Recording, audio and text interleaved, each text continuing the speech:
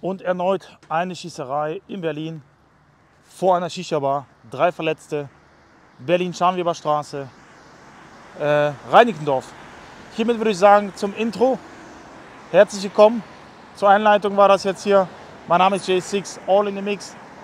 Ich habe ja eine Weile wieder äh, aufgehört mit den ganzen, äh, wie soll ich das sagen, News hier, weil mir das schon auf den Sack ging.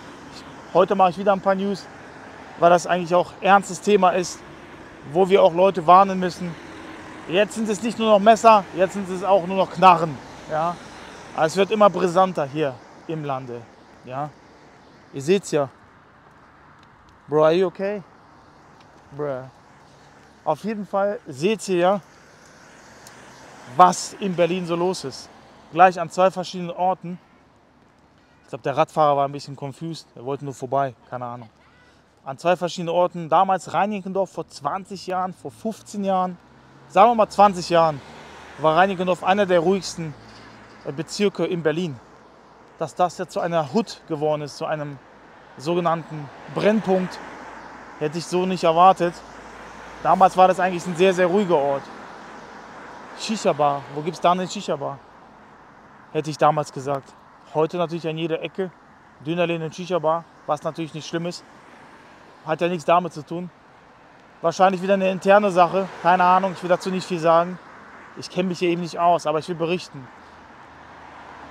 Äh, meine Sache ist halt, stell mal vor, das sind Kinder in dem Moment mit Familien und äh, Mutter und keine Ahnung, Kinder und Vater, die gerade spazieren gehen und dann kommt so ein Drive-by-Shooting. Gut, keiner gestorben, drei Verletzte.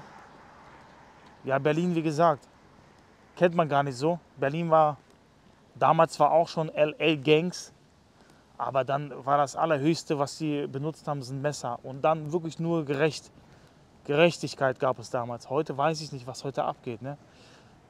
Keine Ahnung. Man weiß ja noch nicht mal, ob das immer die Leute machen, die hier leben. Gibt ja auch sehr viel Auftrag. Ja, Leute von außerhalb kriegen Auftrag. Das ist heute nicht mehr so wie früher. Keiner macht es mehr selbst. So, abgesehen davon. Ja. Äh, ich habe ja mal hin und wieder mal ein paar Sachen gehört, dass wenn mal sowas passiert, dass das immer angeheuerte Leute sind. Dass die gar nicht hier leben.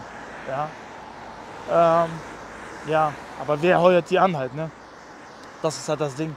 Ja, wir wollen jetzt auch nicht weiter in die Materie. Das ist das Problem so.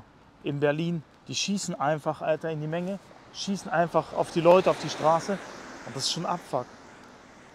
Äh, Unschuldige kommen ja auch dabei zu Schaden. So. Und ich, deswegen berichte ich euch auch, ne, was bei uns im Wilden Westen so abgeht.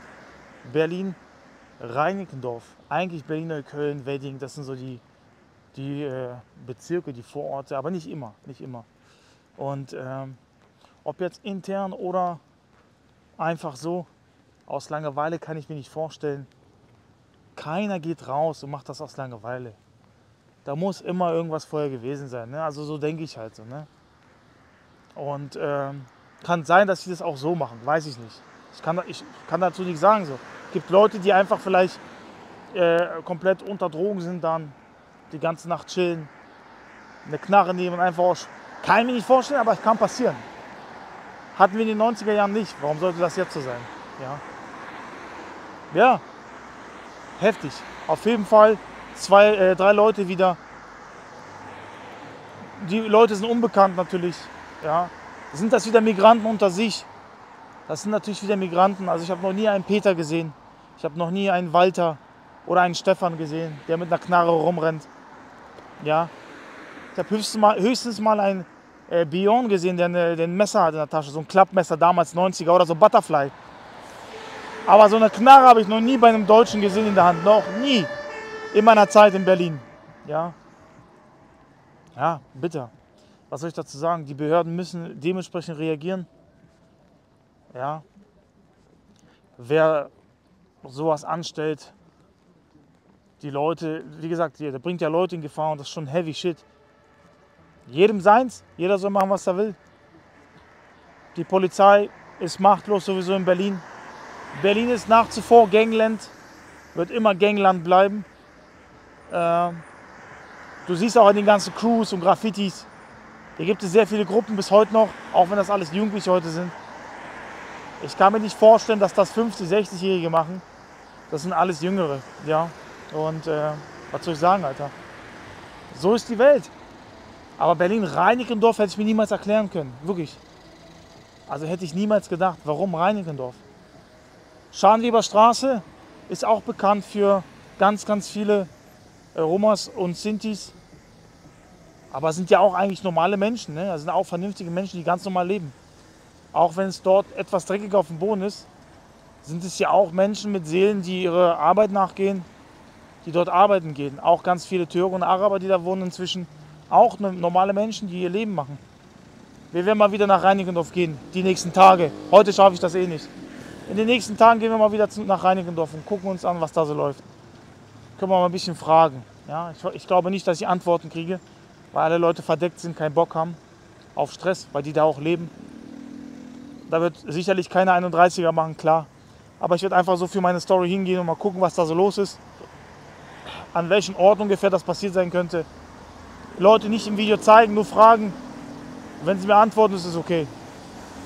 Wenn man die Stimme hört, ist das nicht so schlimm. Ja, ja das war es meinerseits. Wieder ein Ereignis in Berlin. Wieder sehr, sehr schade. Verletzte. Äh, immerhin haben diese Leute ja auch irgendwo Eltern, Mutter, Vater, die sich Sorgen machen zu Hause. Auf der anderen Seite, die schützen ja auch. Die Eltern, ihre Eltern machen sich auch Sorgen, weißt du? Ja, da gibt es nicht viel zu sagen. Ja. An Matthias war es wieder nicht. Und so ist es wieder. Und so kommt das wieder. Immer schlechteres Licht ja, auf uns, die Schwarzhaarigen. Und das ist das Problem, was viele nicht verstehen. Der eine will cool sein, der eine will das sein. Die, die neue Generation, die Jugend raucht Vapes. Die anderen haben Knarren, die anderen haben Messer. Bin ich froh, dass ich in den 90ern aufgewachsen bin, ja? Bin ich froh, dass ich diese Zeit hier nicht mehr machen muss und nicht mehr cool sein muss. Danke euch meinerseits. Mein Name ist Six, All in the Mix. Bis zum nächsten Video, bis zur nächsten Schießerei. Was soll ich sagen? Liebe Grüße aus Schöneberg. Ja, bis zu, äh, bis zum nächsten äh, äh, Videos. Wie gesagt, mir steht es bis hierhin. Ich wollte eigentlich gar keine Nachrichten machen, aber es passiert viel zu viel. Viel zu viel. Schaltet um zum nächsten Video. Da ist schon wieder was passiert, aber die Medien schweigen. Ja, ja geht um eine Explosion. Tja, und so ist das heute eben. Ja, Deutschland ist Gangland. Deutschland ist nicht mehr sicher. Haut rein, liebe Freunde. Bis zum nächsten Video. Ja, oh Mann, Alter. Was ist hier los in Schöneberg heute? Schauen wir mal. Also, bis dann.